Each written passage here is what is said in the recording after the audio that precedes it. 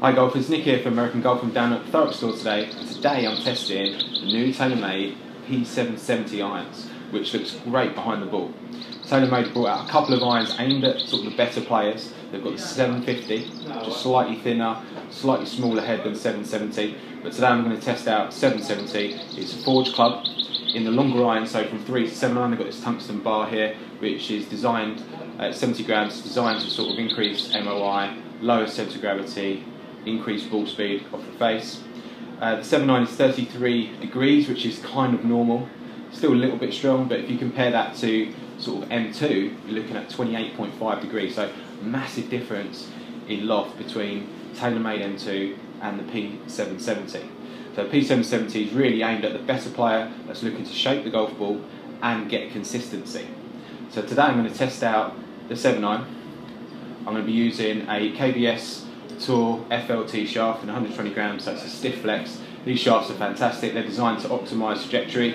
So in the lower irons, 3, 4, 5 and 6 iron, they're, they're designed to sort of increase the ball flight and in the sort of the higher irons, 8, 9 and pitcher is designed to lower the ball flight. So great shaft, 7, 9 head. I'm going to hit a few shots on GC2 and then what I'm going to do at the end is I'm going to hit some shots and try and shape the ball a little bit. See how good this is at shaping the golf ball. Okay, looks great behind the ball, minimal offset, Looks good.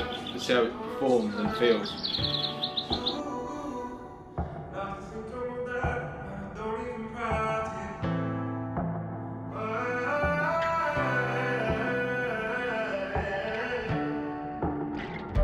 Cried for the hours of sand that I took it to my bliss.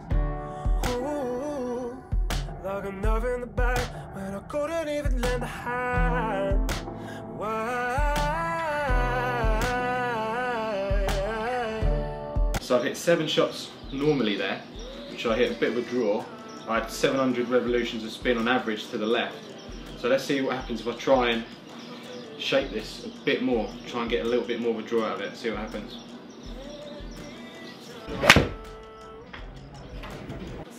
Felt good, it's gone further. Should sort of expect the way I've struck that. Lower ball flight, more of a draw. So I'm just moving ball position, handle location, club face aim a little bit to draw this. You can see I'm aiming reasonably straight. Two more.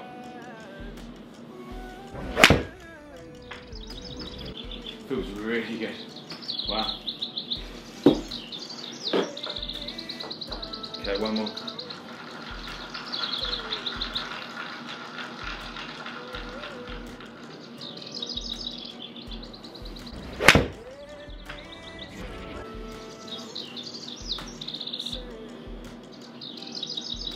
Okay, some pretty good shots there. So going to sit down now and take a look at some of that data. Okay, so you see me hit seven normal shots and three where I tried to shape the ball a little bit more and play that draw. And first impression, I think it's a great club. I'm really impressed with the looks and the feel. Quite like the shaft as well, the KBS Tour FLT, it sort of suits me a little bit. So taking a look at some of that data, very consistent. So I hit seven shots at the beginning, my normal shape is a bit of a push draw, and every shot started out to the right, about three degrees right target, and every ball curved roughly between five and 600 revolutions to the left. The first one I think just curved a little bit more than that, sort of up to a thousand, but very consistent curve on the ball. The backspin was very similar, within about two or three hundred revolutions difference. In terms of carry distance, very similar, sort of averaging only about 150. So it's not the longest club in the world, but to me that's not the most important thing. The feel, the amount you can shape the ball, the looks, the performance, the consistency is what I'm looking for in an iron. So in terms of carry distance, very similar.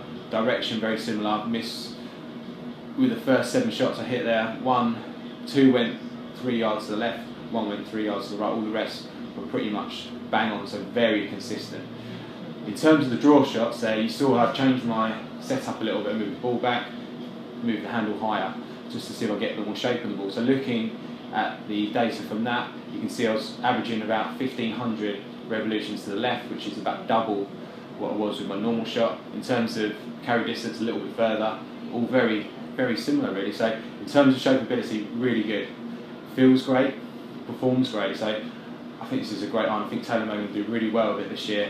So golfers out there, if you want to give this a go, pop in, come down to any American Golf, and we'll be happy to help you out.